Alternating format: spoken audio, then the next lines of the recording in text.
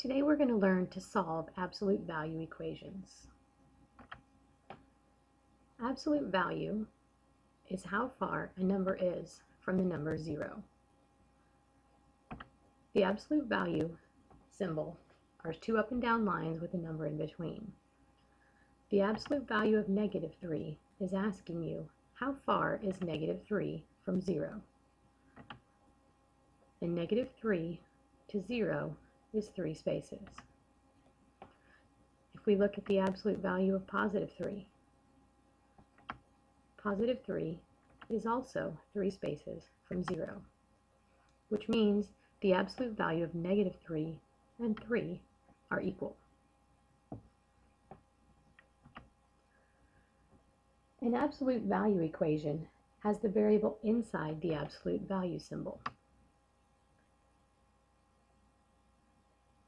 Ask yourself the absolute value of what number is equal to 7. There are two possible answers. x could have a value of 7, or if we go on the other side of the number line, x could also have a value of negative 7.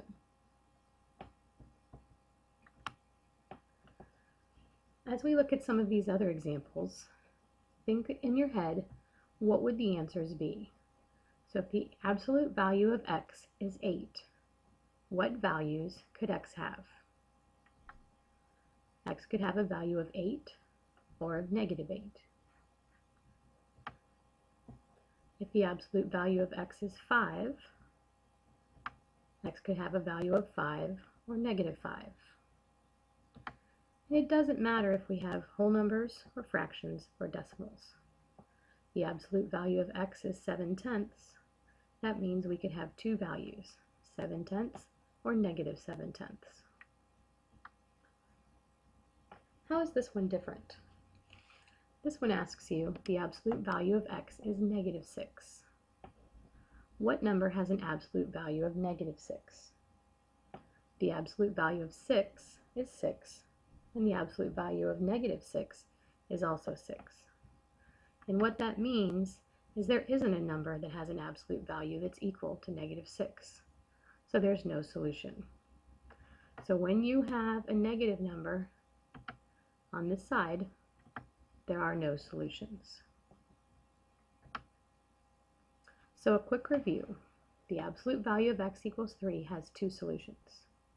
Can you name them? Your two solutions would be 3 and negative 3 because each one is three spaces from zero.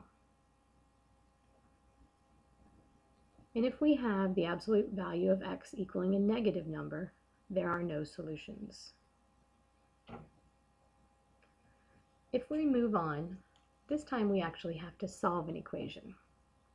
So when we look at this, we're asking ourselves the absolute value of what is equal to 7.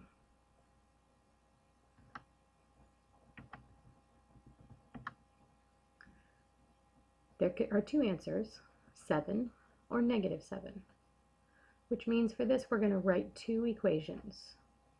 The first one using the positive 7, and we're going to take what's inside the absolute value symbol and set that equal to positive 7.